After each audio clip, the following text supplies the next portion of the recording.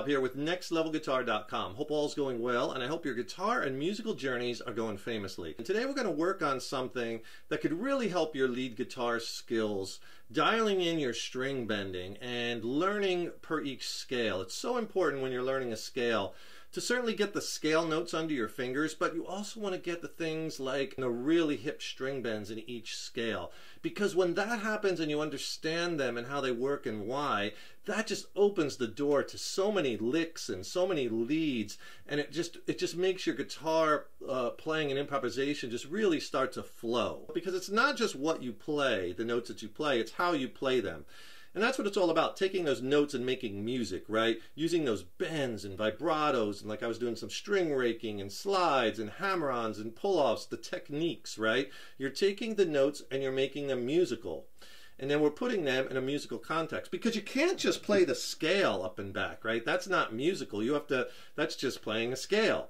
Doesn't sound like music. You have to take the notes and work them right? And the string bending is one of the most emotive things you could do on the guitar and that'll really get you sounding musical quickly i'm in standard tuning and we're using a jam track to um, uh, have some application for these principles and devices, right? And the jam track, I want to thank Elevated Jam Tracks. They make some really good jam tracks. You can get them at bandcamp.com, and I'll put a link here so you could see. Uh, but this track is in the key of D minor. There is just D minor to a C to an F and a B flat the first time. And then the second time through the jam track, D minor, same as before, C, F, this time A.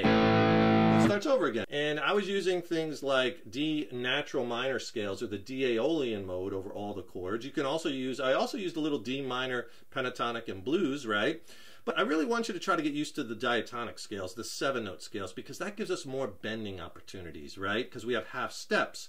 As opposed when you use minor pentatonic, it's all whole steps or three frets, minor thirds. And if you have a second, please subscribe to the channel. You know, subscribing to the channel, that really helps us to keep the content coming, right? And then you'll be notified when we have new lessons posted. Leave a comment below. Let us know what lessons you'd like to see coming up. Let us know how you like this lesson. And if you like the video, please click the like button. Give it a thumbs up, share it, and thank you so much for your support. So here's something that I think you could really use throughout your playing. When you're learning a new scale, learn the scale and the notes of the scale, but also learn how to bend the notes of the scale and which notes are the hip and cool bends, right? So let's do that. So let's take a D natural minor, D Aeolian scale. We'll take the one off of the 10th fret root on the low E string. And by the way, for the lesson, I have the delay turned off and I have the distortion way down. I just have a little gain and some reverb. That's it.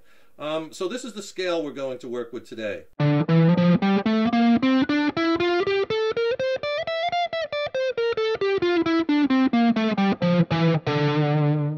Notes in D natural minor are D, E, F, G, A, B flat, C. Now we're back to D. Then just repeat.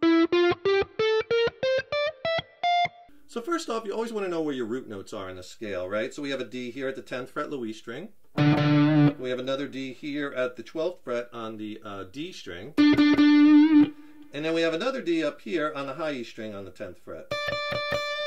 And just so you know also, there's a D here on the 15th fret of the B string. And if you want to see this scale and so many others diagrammed out on paper, because sometimes it helps to have that visual connection, right? Um, I'll tell you what, click on that link in the YouTube description box below. I'll send you my killer largest rock blues soloing ebook. It's packed with like 29 scale diagrams, has lessons on soloing strategy, major minor key music theory. It's a great reference tool. And I'll pair it with a free video lesson too on easy ways to spice up your soloing. I'll send them both to you for free. The video lesson, which is extended play, it's not on YouTube, and the killer ebook. Get both for free, just click on that link below So if we take the top three strings of that scale, the first thing you want to do is let's look at the half step bends, right? And you really want to milk these, especially if you're playing in this rock or blues rock or melodic type soloing. So you have 12 to 13, there's a half step. So you want to bend that 12 to the 13th fret. Right? And always check to see that you're bending in pitch. So that's a great half step bend right there. Bending that ninth to the flat third. And then you have another half step on the G string and then another on the B string. So on each string you'll have a half step bend. So on the B string, we have that bend. We have the uh, 10th fret to the 11th fret. See? You want to bend that A note to the B flat. And then check it. See, the licks are just coming in the head already just from experimenting on each string. And on the half step bends, I'll often bend those with one finger. On whole step bends, I'll usually use as many fingers as I can, three or four, just because it gives you more strength, more control. And on the G string, you have that bend where we're bending the ninth fret, bending that E note to the F note. Right, so you always want to... For bends like that, I also give it like a little turn of my finger or the wrist. See that? And, uh, and, uh, same thing on that B string. tend to bend that one up. On the G, I bend down for the half step. And then a high E. All right, those are three killer half step bends right within that scale. So you could start putting your licks together. Okay, there's all on that high E string. To the B string. To the G string. And then kind of resolve a lot of your licks to the root note. Those are the three half step bends that are super cool. And now some whole step bends that are really neat to do. On the B string, I like bending with, now notice too, all four fingers down, one finger per fret, right? And I'll bend that C note to the root note, D. So you're bending a whole step now. So you want to make sure you hit that note. I always kind of rake into my bends too. See, I'm muting the strings. So you get that muted sound into the bend. Uh, so I'm bending that C to the D. That's a whole step bend. And really cool. Now on the high E string, you could do that. Uh, and by the way, that's 13 to 15th fret. You could also do 13th to 15th on the high E. So you're bending that F to the G. Another really good bend in that scale. Check your bend. So on the G string, you could do a couple of things as far as bends. Um, if you want to incorporate the blue note right there, A flat, you could do a little half step bend. Back to our root note. So that's a nice bend on the G string, but because you have our blue note, then you have the next note in the scale, which is A, you could also do a whole step bend. That time I did a whole step, and then a half step. So you could do whole step bends, or half step. For that bluesy favorite flavor on the G string. Don't forget, back it up to that ninth fret like we did before, and you have that half step bend. You resolve to your D note, right?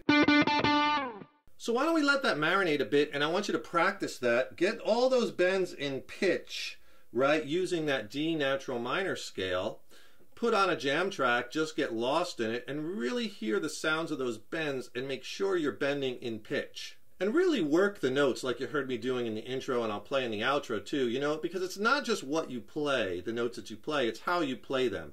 And that's what it's all about, taking those notes and making music. Hope you enjoyed that lesson. Stay tuned. Lots more killer content and lessons coming. Don't forget, subscribe to the channel. That really helps us to keep the content coming, as well as then you'll be notified when we have new lessons posted. And don't forget to click on that link in the YouTube description box below and get my free killer rock blues soloing ebook. It's packed with scale diagrams and soloing strategies. It's paired with a killer video lesson that's extended play. It's not on YouTube. It's a killer one-two punch. I'll send them both to you for free. Just click on that link below. And if you want to hear some of these lead techniques and devices within the structure of a song, I recently dropped a new record with my original band Mind Cell. We're based out of San Diego, California. It's a slamming record. I'm really stoked about it. I think it's some of the best music I've ever written. It's streaming on all the platforms. I'll put links to that below in the YouTube description box.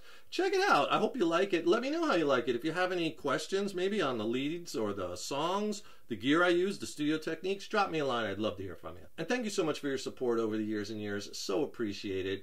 Keep up all that hard work on those guitars. Keep having fun with them. Enjoy the journey. And remember, your guitar playing is an evolution. Take care, rock on. I'll see you in the next lesson.